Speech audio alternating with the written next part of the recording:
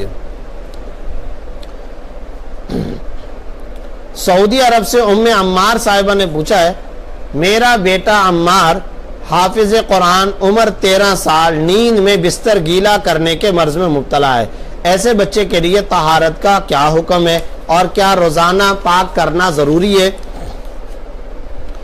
یہ ذرا دیکھنا چاہیے کہ کیا یہ صرف نیند میں ہوتا ہے یا بیداری میں ہر وقت نہیں ہوتا۔ تو جب یہ نیند کے اندر ہے تو یہ یاد رکھیں کہ یہ شرعن عذر نہیں ہے اور ایسی صورت میں کپڑے اور بدن کو پاک کرنا شرعن ضروری ہوگا۔ اور